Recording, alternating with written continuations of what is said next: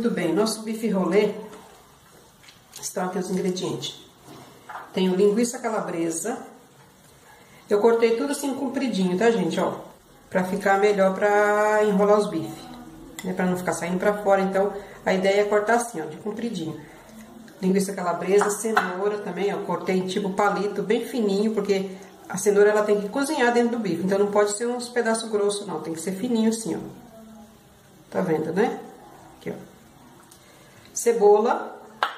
Cebola eu cortei também fatia, fatiadinha em meia lua, assim, ó. Cortei elas um pouquinho grossinha, mas você corta do seu jeito. Você não corta pequenininho, você corta em rodelas grossas, então assim, meia lua, tá? Tem aqui tomate picado, é um tomate grande, se o tomate for pequeno, você coloca dois. É, ou pode usar molho de tomate pronto também. Eu estou usando tomate porque eu não tenho molho pronto aqui, então eu vou usar o tomate.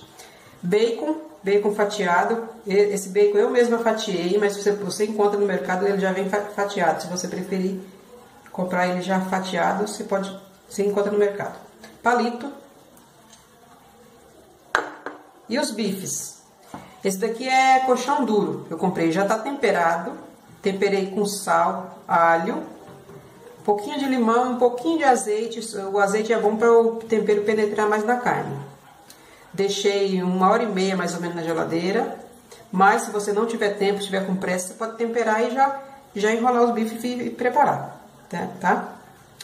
É, também um pouquinho de pimenta do reino eu coloquei. Tá bom? Agora eu vou enrolar aqui pra você ver como é. Tá vendo que isso aqui é o alho do, do bife. Dá pra ver. E a gente põe o bacon a linguiça. Aqui é, é a gosto. Se você quiser colocar mais um, uma fatia de linguiça, pode pôr. Eu vou pôr só uma. Tem gente que põe cheiro verde aqui, a salsinha, mas eu não vou pôr, não. Vou pôr no final. É, a cenoura. Tá vendo essa ponta menor do, do, do, bife aqui, ó? Você coloca o tempero um pouquinho mais pra cá, pra ter espaço pra você enrolar ele pra lá.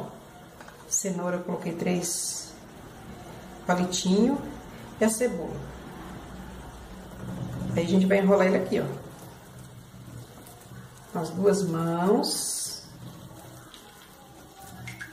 E vamos para o palito aqui. Tá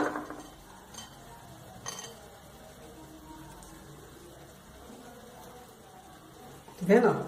Como que pôs o palito? E agora nós vamos pôr um palito de cada lado aqui também.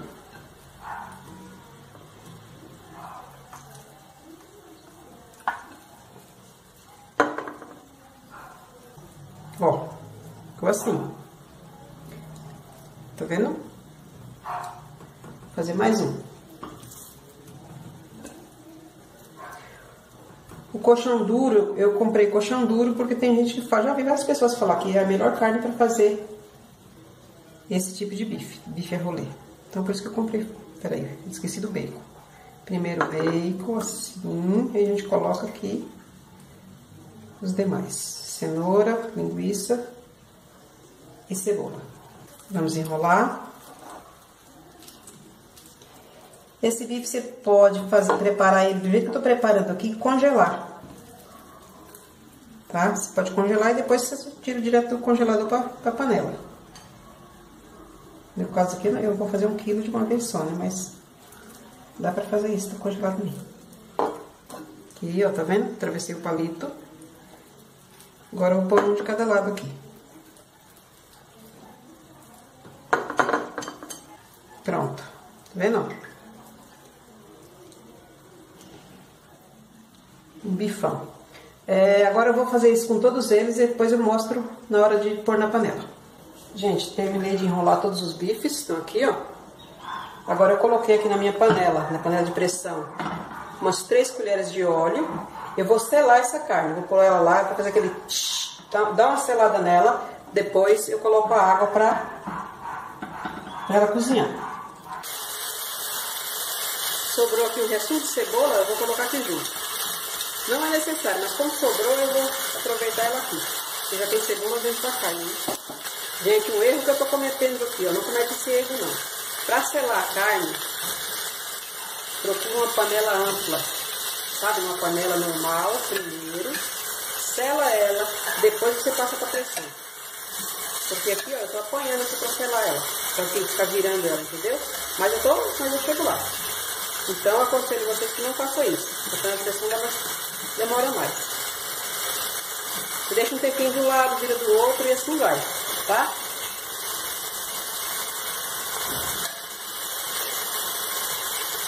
Aqui não foi uma atitude inteligente da minha parte, não, mas já que tá aqui, eu vou deixar aqui mesmo.